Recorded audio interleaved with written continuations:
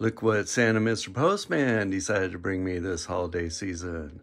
Thank you very much, Mr. Postman. And thank you very much to Mrs. Claus. So, welcome to my channel. Uh, this is a simple unboxing of the Xtool F1. Uh, something that was on my wish list and thanks to uh, Mrs. Claus, she made sure that that wish list happened. Uh, I may do this fast, I may do this slow. Hopefully Hopefully you get the gist of it.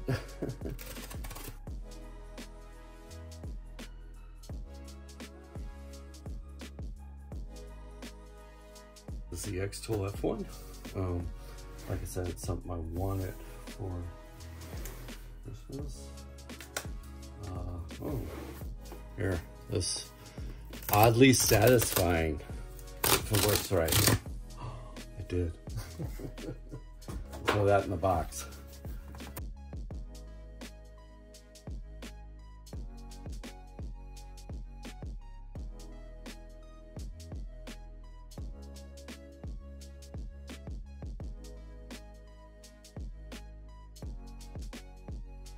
There we go.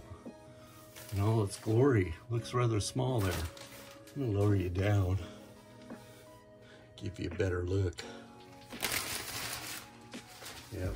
So let's see X, uh, Xtool F1.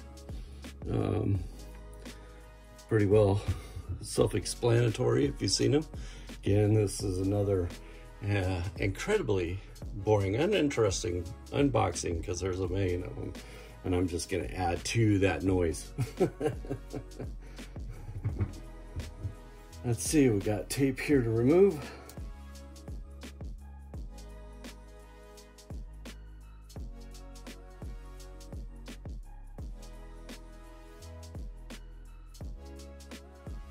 What I've been seeing is really cool is that people have been taking and making um, jigs that fit in this, which I think is a cool idea.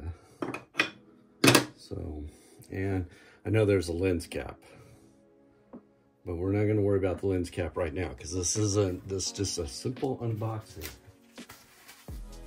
And we're going to have little fiddly bits in here. Power cord. And uh, USB-C to A.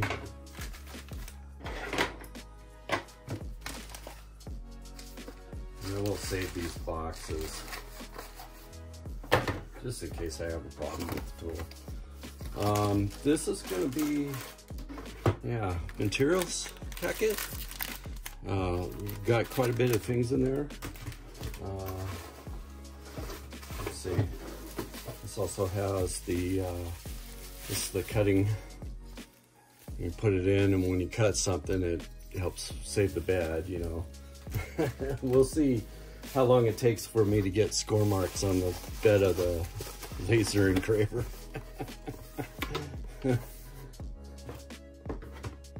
this box Probably the power supply feels heavy enough. Yeah. Power supply, not too bad. Um, let's see, what do we got on the power supply? I don't know if you can see this. Uh, you know, might want to be careful at times. There is no UL listing that I can see. I always look for a UL then I know it's been tested here in the States for uh, quality assurance. It won't catch on fire. I haven't heard any people having problems with their. And we got a big box, which happens to have, of course,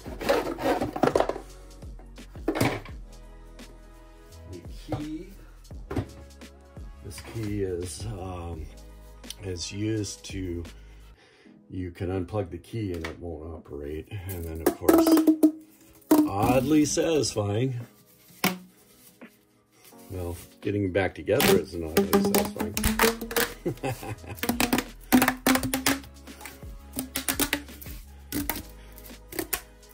there we go. Okay, I think that's it for this. Let me get other stuff ready to go. Okay, I'm back. We're gonna go ahead and uh, unbox the Xtool Desktop Smoke Purifier. Uh, this is the, the air purifier that goes on the Xtool F1, comes out the back, exhaust comes out the back, goes into this, and then you'll have another tube going out.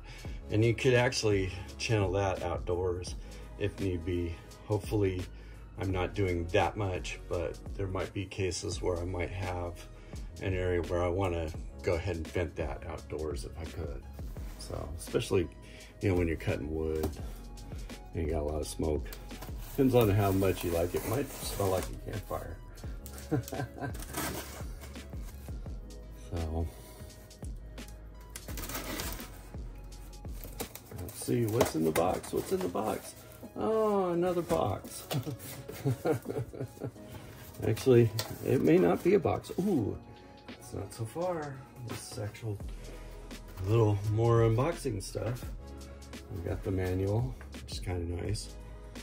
I'm gonna put the knife down before I cut myself. Drop the knife, okay. Um, this looks like the power supply, brick. Again, let's find it Underwriters Laboratories. Uh, yeah, again, I don't see any UL listing. Um,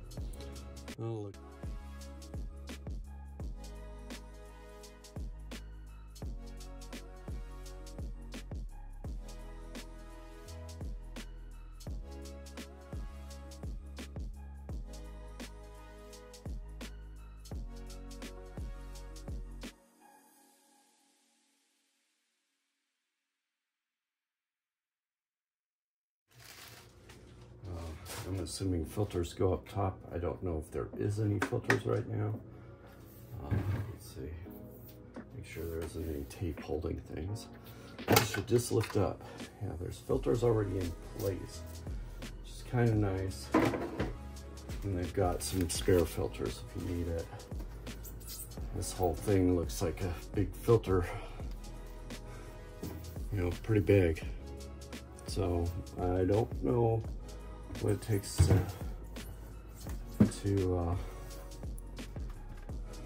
to uh, let's say uh, to replace that. I don't know what the cost is, but it's a pretty cool tool. And it might allow me to be able to, you know, if I go to a craft show or something, to be able to run it at the craft show because I have a purifier. And, you know, if I'm just doing small engravings and stuff, it shouldn't be creating a lot. Okay, there. Spring out nice. So there's that. And I'll be back. Alrighty then, what's in the box? What's in the box? So I've got the rotary tool two. I guess that's two. And then the uh, F1 slide extension. I'm gonna unbox these sort of together. Uh, let's go ahead and see what we got.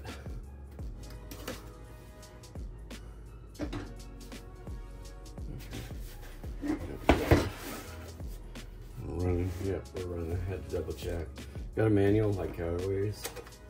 Got uh, different connections, you know, so the F1, don't show in here. Get the right tips for your machine. Hopefully it's in the box. I'm sure it is. Oh, here, Xtool F1 and S1.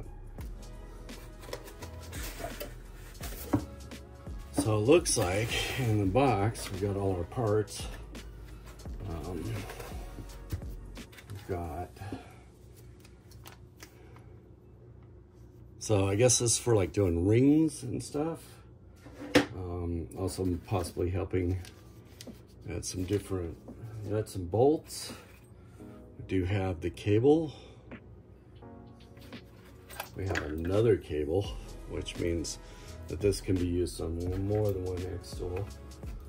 Got a couple of, uh, looks like uh, hex bits, Allen wrench bits. Got more cabling, ribbon cabling and such got a level That might come in handy. A little bubble level. We've got. I'm I'm guessing this is for holding the tail end, sort of a tail tool. Oh, that's just you screw it to the height you need. There's some grease in there. I don't know. It looked like I had grease. So it'd be funny it's not in this, but it's in a different box. But there might be grease that's needed for other things. Then we have, it's like the whole rotary tool itself. I've heard these are, so you really want to use the chuck. Um, don't think anything except in the box. It's in the box. It's in the box. Another box.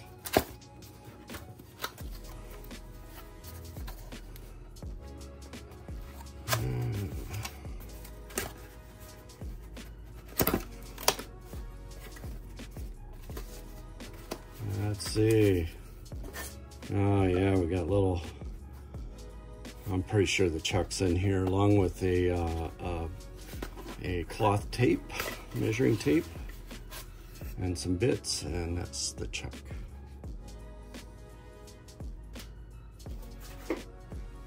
So I'll probably have to, you know, buy something to hold this stuff in. And contrary to popular belief that I was going to do this without both these at the same time, I'm to put stuff back in this one. So instead of an unboxing, we're to have a reboxing.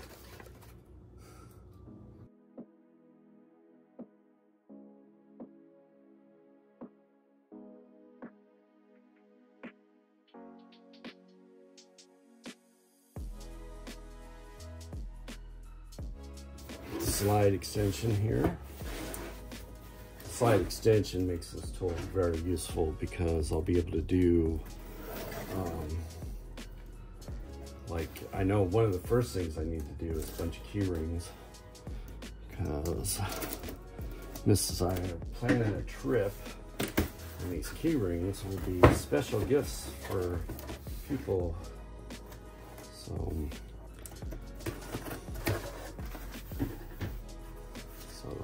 Again, manual top, it's really nice. Um, and a slide extension table. Uh, let's see, I'm wondering, is this table all one? Okay, yeah, it's all one unit, so, and then it looks like everything's underneath. Move this out of the way. So can you see that okay? Yeah. That's side extension. Pretty sure there's